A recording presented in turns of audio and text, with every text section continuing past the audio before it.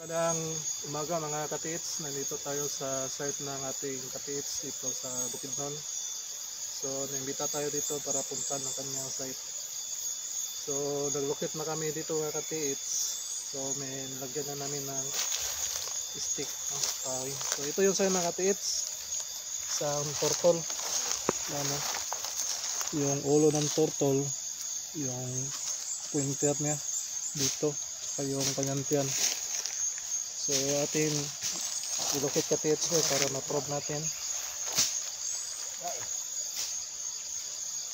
Yan. So yan so nikot sa katits. So ititistig namin ni ito katits mamaya no. Yan. Sa kabila na ng katits, mayroon din rin yung turtle. Yan o, may cutting siya dito. Yung ulo rin niya. Ano. Ulo. Tapos may mata. Hmm, may mata pala siya. Yung mata niya. So, dito rin yung kanyang digging spot niya. So, ating ilukit. So, yan o, umikot siya.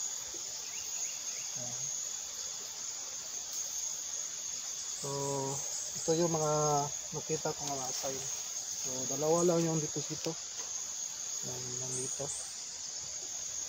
Yan yung mga kasamahan ko mga tits. mga tag-iya sa yuta. so, bago tapusin natin itong video mga tits, uh, shout out muna tayo no sa mga nag comment sa ating YouTube saka nag-subscribe.